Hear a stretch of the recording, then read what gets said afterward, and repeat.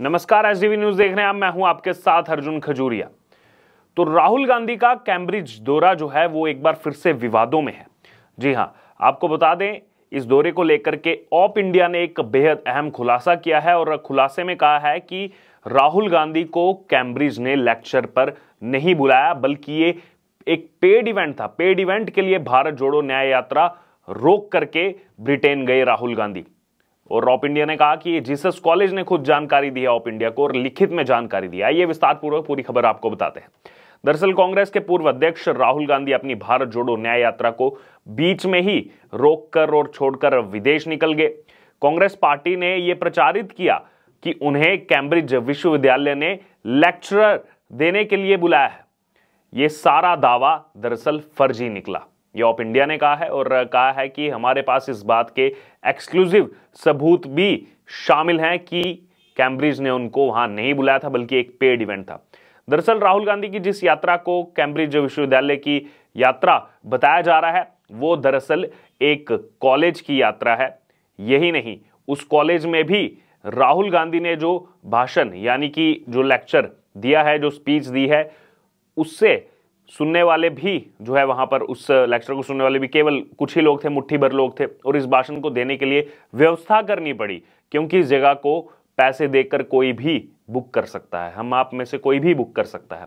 Of India ये बात जो है, उसका कहना है, उसका दावा है कि वो यूँ ही नहीं कह रहा, बल्कि खुद कैम्ब्रिज विश्वविद्यालय के उस जीसस कॉलेज ने ही ये साफ़ कर दिया है कि राहुल गांधी की विज़िट बुकिंग के बाद हुई थी। उसका कैम्ब्रिज यूनिवर्सिटी और जीसस कॉलेज से कोई भी लेना देना नहीं है। ना ही कॉलेज का और ना ही विश्वविद्यालय का उसमें कोई लेना देना है और ना ही उसमें कोई सहभागिता रही है इन दोनों की। ना ही वो इस कार्यक्रम के आयोजक रहे हैं। तो देखिए, ये खुलासा किया है ऑफ़ इंडिया ने। आपको बता दें कि 21 फरवरी 2024 को कांग्रेस के वरिष्ठ नेता, महासचिव जयराम रमेश ने इस बात की जानकारी दी थी कि राहुल गांधी अपनी भारत जोड़ो न्याय यात्रा को बीच में रोककर 26 फरवरी से एक मार्च के लिए कैम्ब्रिज विश्वविद्यालय जा रहे हैं, जहाँ वो लंबे समय से प्रस्तावित दो विशेष लेक्चर देंगे उन्होंने कहा और कहा कि ये लेक्चर 27 फरवरी और 28 फरवरी को होंगे। इसके लिए वो नई दिल्ली में हो रही पार्टी की बैठकों तक जो है, उसमें शामिल नहीं हो पाएँगे, क्योंकि ये लेक्चर बहुत अहम है। ये कहा गया था उस समय, जयराम रमेश की तरफ़ से। इसके बाद कांग्रेस पार्टी से जुड़े कार्यकर्ताओं, नेताओं ने राहुल गांधी की तथा कथित इस कैम्ब्रिज विश्वविद्यालय में दिए गए लेक्चर को शेयर किया, पूरा महिमा मंडन किया। किसी ने उन्हें सादगी की मूर्ति बताया तो किसी ने कुछ और महिमा मंडन किया। चूँकि कांग्रेस का दावा है कि लंबे समय से लेक्चर तय था, और ऐसे में कांग्रेस कार्यकर्ताओं ने पूरा माहौल बनाया। माहौल बनाने में कोई कसर नहीं छोड़ी। लेकिन अब इसकी असलियत जो है, वो सामने आ चुकी है, क्योंकि राहुल गांधी को बुलाना तो दूर कैम्ब्रिज विश्वविद्यालय ने पूछा तक नहीं, ये दावा किया गया ऑफ़ इंडिया की तरफ़ से। और कहा गया, ना ही कैम्ब्रिज विश्वविद्यालय और ना ही जीसस कॉलेज की तरफ़ से इस कार्यक्रम की सूचना दी गई है। और ना ही आधिकारिक जो कार्यक्रम है, उन कार्यक्रमों में इसे लिस्ट किया गया है। कहीं पर भी नहीं है ये कार्यक्रम। और कांग्रेस पार्टी ने कैम्ब्रिज के जिस लेक्चर का भोकाल बनाया था, जब उसके बारे में सही सूचनाएँ नहीं मिली तो उसके बाद ऑप इंडिया की टीम ने जीसस कॉलेज के प्रशासन से, यानी कि एडमिनिस्ट्रेशन से संपर्क किया और कई सवाल पूछे।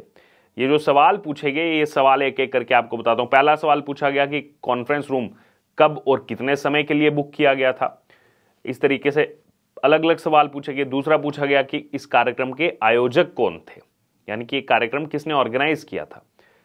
तीसरा सवाल पूछा गया कि क्या कॉलेज प्रशासन ने राहुल गांधी को कार्यक्रम में बोलने के लिए आमंत्रित किया था? यानी कि क्या कॉलेज एडमिनिस्ट्रेशन की तरफ़ से राहुल गांधी को इन्वाइट किया गया था? चौथा सवाल पूछा गया कि कार्यक्रम में कितने उपस्थित थे लोग? कार्यक्रम में, उस कार्यक्रम को सुनने के लिए लेक्चर को सुनने के लिए कितने लोग शामिल हुए थे? और पांचवा सवाल पूछा गया कि एलेना हॉल को बुक करने के लिए आयोजकों ने कितना भुगतान किया? यानी कि कितने पैसे में इसको बुक किया? वहीं इसके जवाब में आपको बता दें, जिस कॉलेज ने राहुल गांधी और कांग्रेस के सभी दावों की हवा निकाल दी ऑफ़ इंडिया का कहना है। और कैम्ब्रिज विश्वविद्यालय से संबंध जीसस कॉलेज की प्रवक्ता ने एक मार्च को ऑफ़ इंडिया के सवालों के लिखित में, यानी कि रिटर्न में जवाब दिए, जिसमें बताया गया कि जीसस कॉलेज के एलिना हॉल में जो कार्यक्रम हुआ, वो एक पेड कार्यक्रम था, एक पेड इवेंट था, पैसे दे करके कार्यक्रम किया गया। इसे कॉलेज प्रशासन ने आयोजित नहीं किया था यह भी कहा गया। और जवाब में लिखा गया कि ये एक बाहरी कार्यक्रम था। कमर्शियल बुकिंग के आधार पर यह कार्यक्रम हुआ था। कॉलेज का इस कार्यक्रम के आयोजन या फिर फंडिंग से कोई भी लेना देना नहीं है, यानी कि उन्होंने स्पष्ट कर दिया ये कार्यक्रम बाहर का था। कॉलेज का इसमें कोई रोल नहीं है, कॉलेज एडमिनिस्ट्रेशन का पेड इवेंट था। तो सब कुछ कहाँ से भीड़ आएगी, कितने लोग आएँगे, सब कुछ उन्हीं पर आधारित था। कॉलेज का इसमें कोई लेना देना नहीं था, बल्कि एक कमर्शियल स्पेस के नाते जो है, वो कॉलेज के उस हॉल को, एनएमओ हॉल को जो है, बुक किया गया और उसके बाद ये कार्यक्रम हुआ। तो ये खुद जो रिटर्न में लिखा गया है, जिस कॉलेज की तरफ़ से, और इसको शेयर किया है ऑप इंडिया ने। वहीं इस रिपोर्ट से कहीं ना कहीं ये साफ़ हो जाता है कि राहुल गांधी का जो कैम्ब्रिज दौरा है, वो चुनाव से पहले, क्या जनता की आँखों में धूल झोंकने जैसा है? क्योंकि जो अभी चीज़ें निकल करके सामने आ रही है, इससे यही साफ़ हो रहा है कि ना तो यूनिवर्सिटी ने बुलाया, ना कॉलेज ने बुलाया राहुल गांधी को, बल्कि पेड कार्यक्रम के ज़रिए कहीं ना कहीं क्या भ्रम में डालने का प्रयास था कि देखिए राहुल गांधी का वर्चस्व इतना बढ़ रहा है, उनको बुलाया गया, विदेश में जाकर के लेक्चर दे रहे हैं। जबकि राहुल गांधी के पहले विदेशों में लेक्चर क्या दिए गए हैं, उसके बारे में भी मैं आपको बताऊँगा। वो लेक्चर जो विदेशों में जाके दे चुके हैं, वो भी लगातार विवादों में रहे हैं।